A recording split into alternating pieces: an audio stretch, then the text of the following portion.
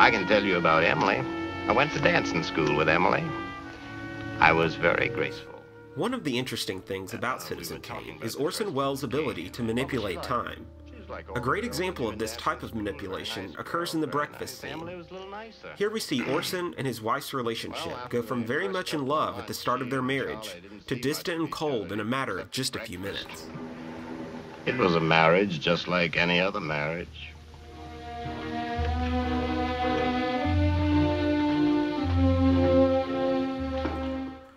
The first things we notice is how Emily and Charles sit close to each other, with Charles waiting on Emily bringing her her meal.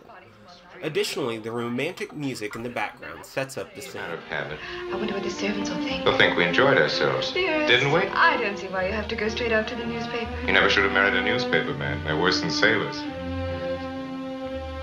I absolutely adore you. Oh, Charles, even newspaper men have to sleep. I'll call Mr. Bernstein, have him put off my appointments until noon. What time is it? Oh, I don't know. It's late. It's early. Charles, do you know how long you kept me waiting? Here, Emily again complains about Charles' work schedule.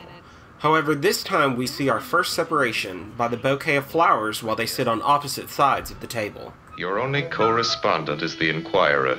Sometimes I think I'd prefer a rival of flesh and blood. Oh, Emily, I don't spend that much. Emily is now bothered and frustrated by articles Charles is running in his paper. The facial expressions also tell quite a bit about how each party feels. States. He's still Uncle John. He's still a well-meaning fathead who's letting a pack of high-pressure crooks run his administration. This whole oil scandal. He happens to be the president, Charles, not you.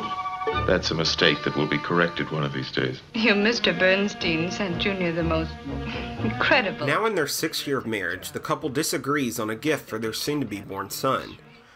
Here, the two vehemently disagree on whether or not the gift should be displayed in the nursery, with additional items on the table separating them. Yes. really, Charles. Now, the couple appears to be in a more formal setting. The two are sharp towards each other, with Charles displaying his large ego. Two now sit in silence on opposite ends of the table, with the music now playing a depressing song. They are reading opposite papers, and everything points to distance between them. Wasn't he ever in love with her? He married for love. Love. That's why he did everything. That's why he went into politics. It seems we were. As you can see, Welles is able to manipulate an entire relationship between two characters in a montage in two minutes. The music, lighting, and props all play key roles in moving time forward and helping the audience to see the distance grow between the two characters. In the movie The Matrix, the director uses special effects to manipulate time in new ways.